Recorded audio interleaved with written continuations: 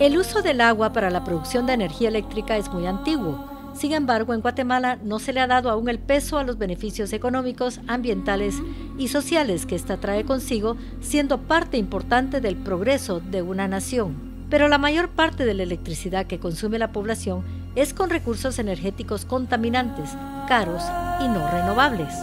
¿Debiéramos seguir copiando un modelo que en otros países está en desuso? Las hidroeléctricas merecen ser tomadas en cuenta por tratarse de energía limpia pero existen una serie de supuestos en cuanto a las plantas hidroeléctricas que provocan incertidumbre en la población y son causantes de conflictos entre estas y las comunidades. Si estas velan por el bienestar de las comunidades, es algo que averiguaremos.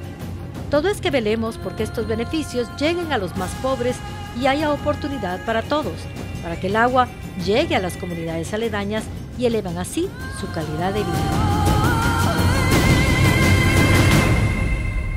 Hola amigos televidentes, soy Vida Amor de Paz para llevarles los secretos mejor guardados de las industrias, esta vez en dos hidroeléctricas, Santa Teresa y Renace.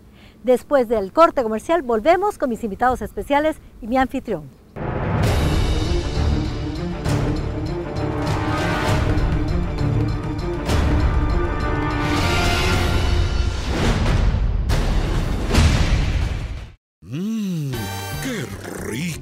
Qué ricas, qué ricas están mis sopas, papitas y boquitas Laquimen. En la playa, en el estadio, en el trabajo. Hagas lo que hagas, disfruta el delicioso sabor de sopas, papitas y boquitas Laquimen. ¡Qué ricas, qué ricas están! Mmm. Con mi con mi Pídelas en tu tienda preferida. Recorra toda Guatemala de la mejor forma, conduciendo un carro de Chapin's Rental Car, su mejor opción en el alquiler de vehículos. Cuenta con precios especiales, planes corporativos, servicio a domicilio gratis y kilometraje libre. El mejor servicio, precio y calidad. Chapin's Rental Car